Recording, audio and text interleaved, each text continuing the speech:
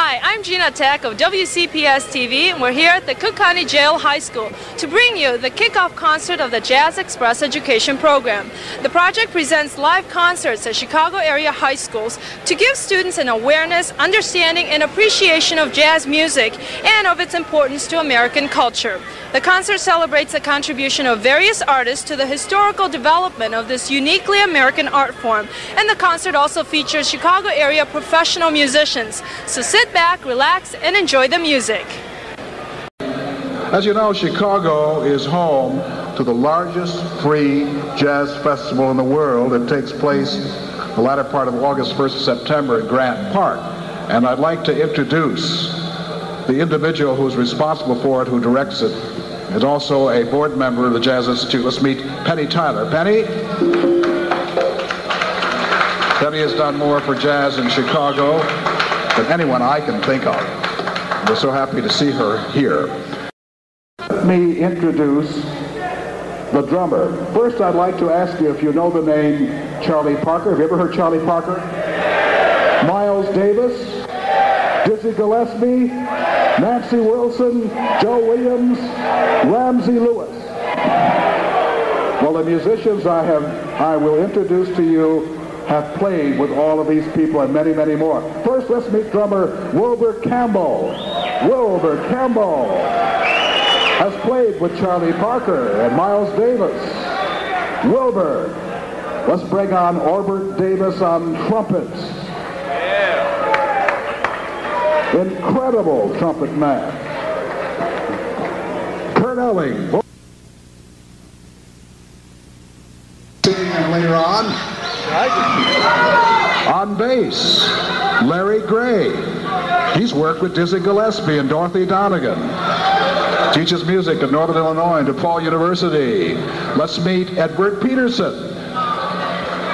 Ella Fitzgerald knows Edward Peterson, and so does Cedar Walton, and Nancy Wilson and Joe Williams. And now, let's welcome the young lady who is establishing a reputation of her own. Her father is a tremendous musician. His name is Willie Pickens. Her name is Bethany Pickens on piano. Bethany, where are you? Bethany Pickens, okay. A terrific now you watch this guy because he's going to set this place on fire along with everybody else. He's a terrific percussionist. Let's meet Alejo Pineda. Alejo. NSC. There's Harry. Okay, that's me.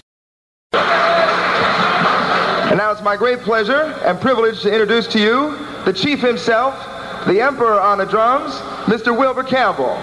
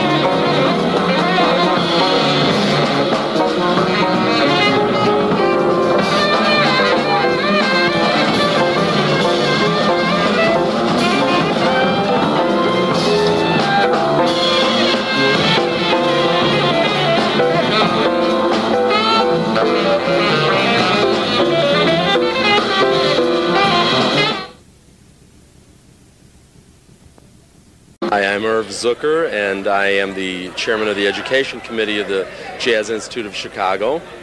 And uh, we put this program together. Uh, this program is a jazz education and cultural enrichment project of the, of the Jazz Institute of Chicago.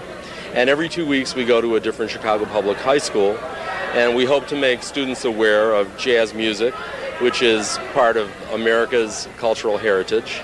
And we believe it's America's first original art form. And uh, this is the first uh, program of jazz education that's system wide in the Chicago Public Schools. And uh, we expose students to different styles of jazz from the early forms uh, to the bebop and to the modern forms and contemporary forms of jazz music. And this is the kickoff concert. Why did you select the Cook County Jail High School? Um, we tried to go to all of the high schools, and we felt that given what is going on in our society today with gang activity, with teenage violence, we felt that this was an important gesture to the young people and to show them that we care about them. And a lot of the students that are in the Cook County Jail High School are uh, children who haven't been very successful in their adjustment to growing up and to school and so on. And we wanted to present this uh, cultural enrichment project for them. A lot of these students have never heard jazz in their lives before. So this is an opportunity for us to expose another population to this music. Obviously, a program like this takes money. Can you tell us about how you're funded and who some of your funders are? Um, we apply for grants from different foundations and uh, also from government agencies. Uh, we get some funds from City Arts, the Chicago uh, uh Cultural uh, uh, Program here, and we get funds from the Lloyd A. Fry Foundation, from the Marshall Fields Foundation, and various other foundations from Lila Wallace Reader's Digest Fund, and so on. And when we write the grants, we explain what we're trying to do, and we get funding for it. Uh, we are going to be producing our 100th concert this season of the Jazz Express. We've been producing concerts for the last eight years in the Chicago Public Schools. And uh, right now we're a little bit low on funds, so if there are any foundations or corporations out there that are interested in funding the Jazz Express, please contact the Jazz Institute of Chicago and let us know you're interested in funding this type of cultural enrichment activity for our students here in the city. How long has this program been going on, and how long, how much longer do you expect it to keep going? We hope to be going on forever, really, and uh, as long as there's a Chicago Public Schools. We've been doing this for eight years, and this is about our 98th concert right now, our kickoff concert. And we have enough funds this year for another five or six concerts. Normally, we'd be producing 15 or 16 concerts a year, so we are short on funds this year. And and we're still applying for grants, so we hope more money materializes. And why do, has this project uh, focused on the uh, Chicago public schools? Uh, the Jazz Institute is located in Chicago, uh, and uh, Chicago has been at the forefront of jazz music ever since its inception. Uh, at DuSable High School, uh, there was a very gifted uh, teacher, the band director, uh, Captain Walter Dyett, and probably more than 200 prominent jazz musicians came out of his music program including Wilbur Campbell, who was uh, one of our musicians, the, the leader, the artistic leader of this band. And uh, Wilbur is standing right over there, and you might want to talk to him. But uh, Chicago's been at the forefront of this creative music.